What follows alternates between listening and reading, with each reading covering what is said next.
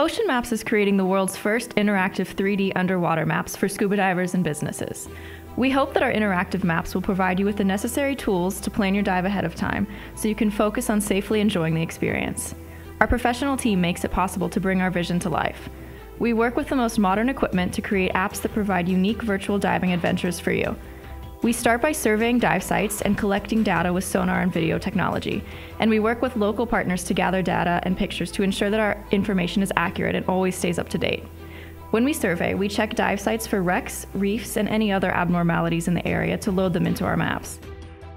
Once the data is completed, it's sent to our in house 3D graphic design artist who turns 2D images into lifelike structures you can explore and interact with via our applications. While all this is going on, our developers are hard at work programming an application that will seamlessly integrate all the data into one easy to use interface.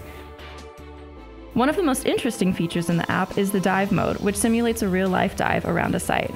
You can follow the green line that will take you on a tour that explores hotspots and provides information about the most popular attractions. Just like in real life, you're able to change your speed as well as other parameters.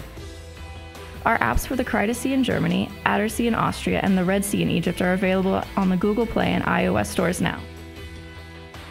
Plan your next diving adventure and explore underwater worlds like never before with the Scuba Diving apps by Ocean Maps.